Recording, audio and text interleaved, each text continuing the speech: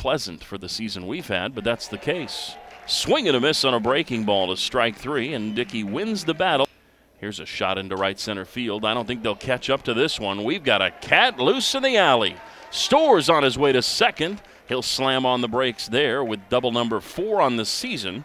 A one out double here in the second inning. Already dancing around at second. First pitch swinging. Oriente sends it into center field.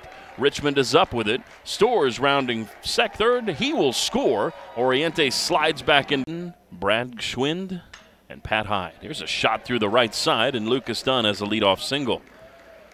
It's almost as though Dunn was used to hitting later in the order that first at bat. One, Snyder squares, lays it down, past the pitcher, the race to the bag, and he'll win it. Jake Snyder with a bunt single. First and second, swinging away his man. He flares one into center, and that's going to drop. Here comes Dunn. Richmond will bring it into the cutoff man. It's an RBI single, and the cards are on top. First pitch swinging. Wyatt hits one under the glove of the second baseman, Ratai, and into right field. Scoring is Snyder. Back to back RBI singles and four straight safeties in the pen. Bunting is Stowers, first base side. That's going to bring home a run. The throw to first, and it's an RBI for Josh. Pitches, going to have a future. The one two. Swing and a miss. Strike three on the breaking ball.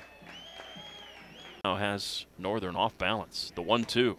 You bet. Got him looking. Called strike three, a 90 mile an hour fastball at the knees in terms of weight, handle thickness.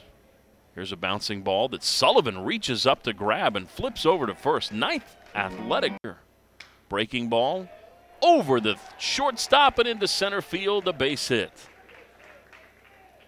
If the infield's back, that ball is an out. But now with a 3 2 pitch. Got him looking, called strike three on a fastball, and the Cards win.